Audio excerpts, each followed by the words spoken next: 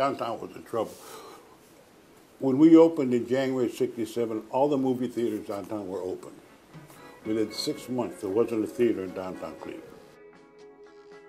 With the city having gone into default, and when, like you said, the, the river burning, and it wasn't a particularly great time athletically, you know, for the teams and stuff around here.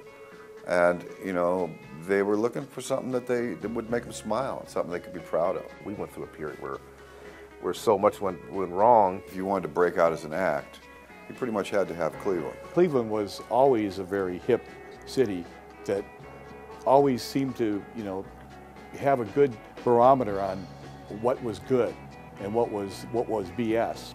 Bowie started out here, Springsteen started here, Todd started out here. Obviously, we did, you know, Roxy Music, all sorts, you know, that sort of thing.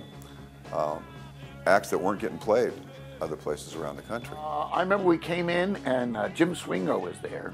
Entertainers came through here and, and loved staying there, and he got to know them all and took good care of them. So that when they left this town, they had good things to say about it. And a good deal of that was because of Jim Swingo and the way he treated those people when they came through town. He was downtown Cleveland. He was to restaurants what Bob Feller was to baseball in this town. He really was.